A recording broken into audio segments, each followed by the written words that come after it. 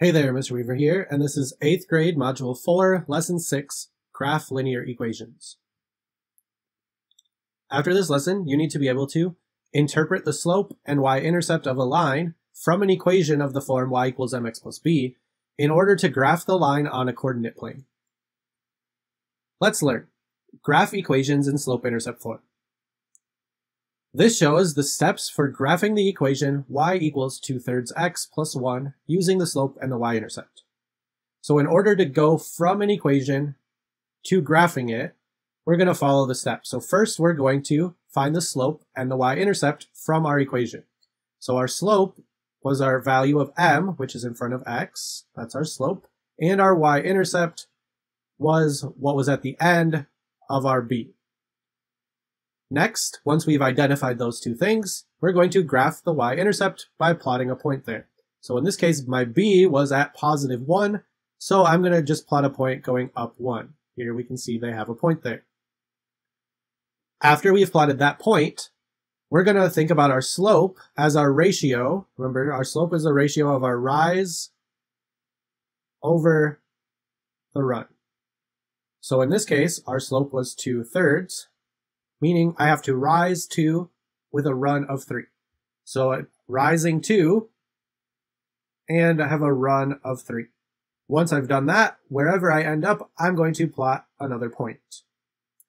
Finally, once I had two points, I can connect them and keep the line going with a straight line.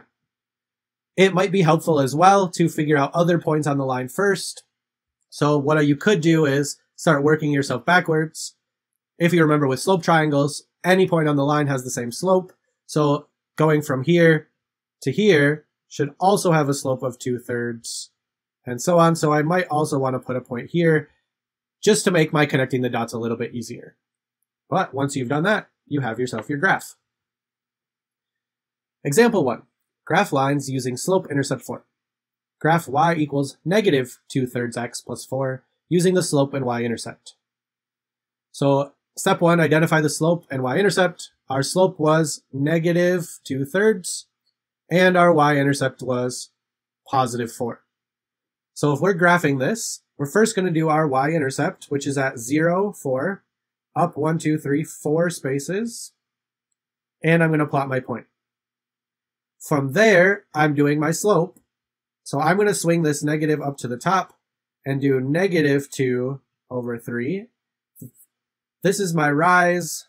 So I have a rise of negative 2. So I'm going to go down 2 for my rise. And then I have a run of 3. So I'm going to go over 3.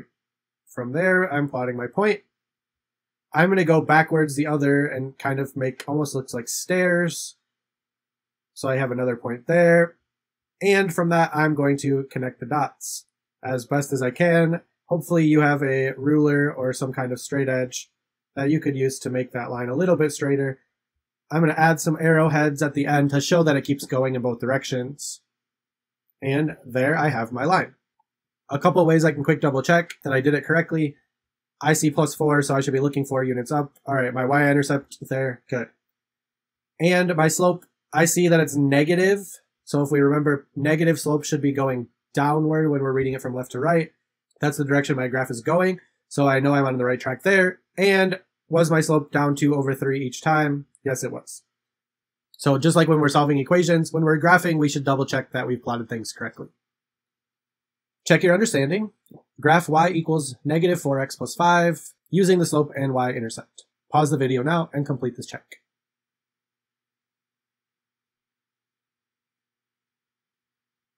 Let's check. First, my y-intercept is at positive 5, so 1, 2, 3, 4, 5. There's my y-intercept, and from there I'm going to go down 4, but this is really a ratio of down 4 over 1. So my rise down four, and then my run was over one. Plot a point, and then I'm going to keep going just so I can make the most of this. Down four over one, down four over one, that would be off the graph, somewhere around there. Then I can connect using a straight edge, would be something like that. Arrowheads to show that it keeps going in both directions. And that would be my graph of y equals negative 4x plus 5. Example 2. Graph lines using slope-intercept form. A typical leopard gecko is 3 inches long at birth and grows at a rate of about one third inch per week for the first few months. The equation y equals one third x plus 3 represents the length y of a gecko after x weeks. Graph this equation. So first, when we're graphing, we're going to identify our slope and y-intercept. So our slope here is one third, and our y-intercept is three. That was our starting value. It was three inches long when it was born, so when it started. Let's graph this. Our y-intercept first at three. Here's our zero, zero point, so three would be there. And then slope of one third, so it's going up one for our rise and over three for our run, and then I can plot my point.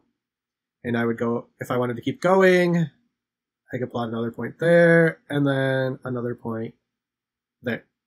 Those were where my dots on the line would be, and then finally I want to connect with a straight line and have it keep going. For this one, I don't want to necessarily extend it more to the left because if it's negative one weeks, that's before it was born. It doesn't really make sense. So we're talking about after it's born. I can extend it going this way to show that it could keep going a little bit. So our graph would look something like this. Check your understanding, read through the situation, and create a graph that represents the pages written in X weeks. Pause the video now and complete the check.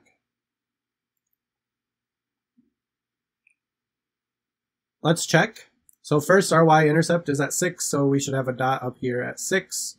That's where he's starting. Then he's going to write four pages per week. That's our slope, so be careful on this one. Our weeks are separated by two spaces, four spaces in one week. And then I could keep going, but I'm kind of out of room already. So our graph would look something like this. And it would keep going that way until he was done with his book. Let's learn. Graphs of horizontal lines. This graph shows a horizontal line. All points on that horizontal line have the same y-coordinate. So we can see negative 3 has a y-coordinate of 3. 0 has a y-coordinate of 3. This one has a y-coordinate of 3 and a y-coordinate of 3. When it's a horizontal line, the slope was 0. If you remember from the previous lesson, horizontal lines have a slope of 0. So if we plug in 0 for our slope, we end up with that being gone. Zero times anything is zero. We don't have to write it. We're left with y equals b. So if you see a horizontal line, the equation is just going to be y equals b, where b is the value of the y-intercept, or all the y-coordinates. Just happens to be the y-intercept as well, which makes it easy. Example 3. Graph horizontal lines. Graph y equals negative 1. So when we see an equation like this, it means no matter what the x values are, y is equal to negative 1. There's no x or nothing to change at x. So let's plot. First, I'm going to plot my y-intercept as negative 1.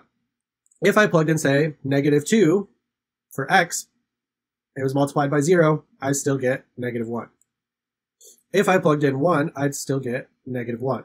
If I plugged in 5, I'd still get negative 1. So no matter what, it's at negative 1. This is a horizontal line along negative 1, and hopefully you can draw it straighter than I can. Check your understanding.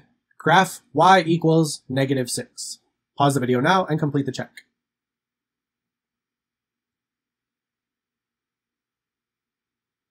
Check your answer.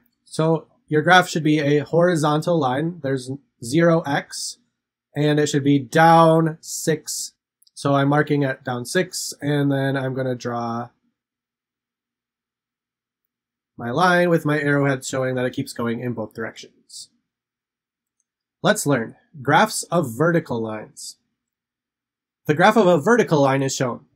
The slope of the vertical line is undefined, so we can't really use the slope intercept form for the equation for a vertical line. But similar to horizontal lines where all of them had the same y coordinate, a vertical line, all of them have the same x coordinate.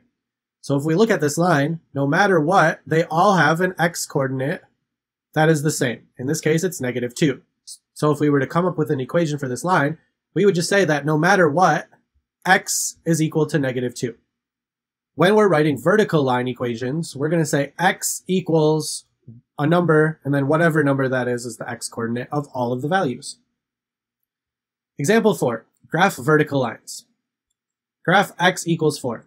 So I can tell right away just by looking at what the equation looks like, it is not in y equals mx plus b format. It's x equals a number, which means it's a vertical line. So no matter what, the x coordinate is going to be 4. So if we plot some things, 4 is over here, so I can plot 4, negative 2, I can plot 4, 0, I can plot 4, 1, I can plot 4, 3. All of them have an x coordinate of 4. Then I'm going to draw my line with my arrowheads to show that it goes on in both directions. So x equals 4 was a vertical line that went through the x coordinates of 4.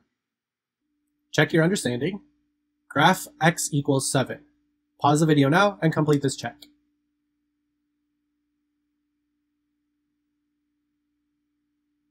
Let's check. x equals 7 means that the x coordinate is always 7. So 1, 2, 3, 4, 5, 6, 7. It would follow along on this line. And it is a vertical line since it's just x equals a number. No matter what, the x coordinate was 7.